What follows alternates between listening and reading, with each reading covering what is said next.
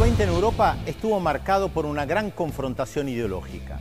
Por un lado estuvo el fascismo, por el otro lado el comunismo. Después de la Segunda Guerra Mundial y las atrocidades que se cometieron en nombre del fascismo, uno podía pensar que esta ideología política no iba a poder crecer nuevamente.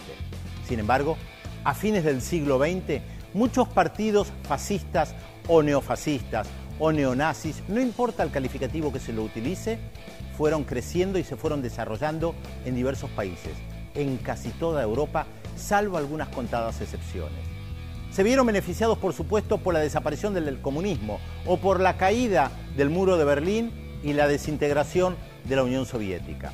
Aquellos partidos comunistas y socialistas que después de la Segunda Guerra Mundial se habían fortalecido, porque al fin y al cabo la Unión Soviética había tenido un rol fundamental en la derrota del fascismo, de la noche a la mañana vieron cómo se desmoronaban sus sueños, su historia, su pasado, su presente.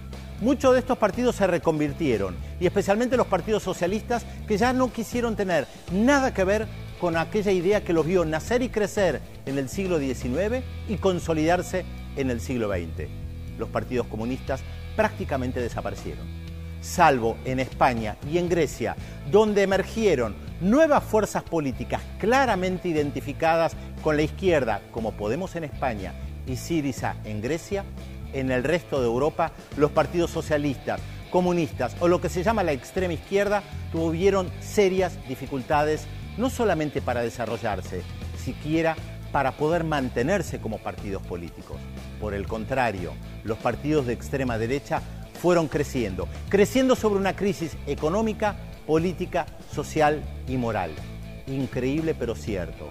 Ahora partidos de extrema derecha se atreven a dar lecciones de moral frente a la corrupción de la clase política, como si Europa no tuviera memoria.